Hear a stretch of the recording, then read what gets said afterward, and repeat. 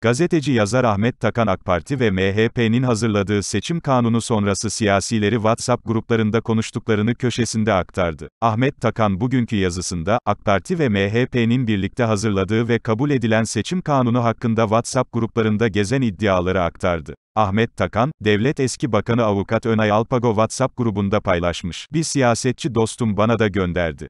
Bilinmesi gerekir diye aktarıyorum, diye yazdı. Gazeteci yazar Ahmet Takan, WhatsApp gruplarında, çok kısa bir süre içinde baskın seçim olabilir. Her geçen gün ekonomi daha da kötüye gidecektir.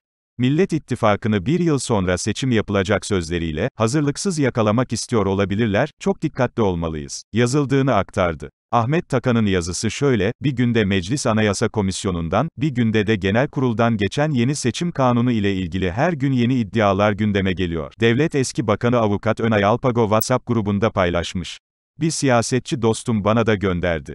Bilinmesi gerekir diye aktarıyorum, çok kısa bir süre içinde baskın seçim olabilir. Zira, bir yasalardaki değişiklikler için neden bu kadar acele etmişler ve sabaha kadar çalışarak meclisten geçirmişlerdir. İki en tehlikeli madde olan seçim kurulları ile ilgili değişiklik, kabulünden itibaren 3 ay sonra yürürlüğe girebilecektir. 3 Yüksek Seçim Kurulu, üst üste ihaleler yapmaktadır. Oy verme kabinleri, seçim kırtasiye malzemeleri, oy pusulaları ve zarfları ile ilgili ihale işlemleri tamamlanmaktadır. 4 3600 ek gösterge ve yakın tarihte EYT'liler konuları ele alınacaktır. 5 Cumhurbaşkanı dış politikadaki tartışılır olsa bile popülaritesini kullanmak fırsatını kaçırmak istemeyecektir. 6 Her geçen gün ekonomi daha da kötüye gidecektir. Bu tabloya baktığımız zaman bence baskın seçim ihtimali yüksektir. Millet İttifakı'nı bir yıl sonra seçim yapılacak olacak sözleriyle, hazırlıksız yakalamak istiyor olabilirler, çok dikkatli olmalıyız, ifadelerini kullandı.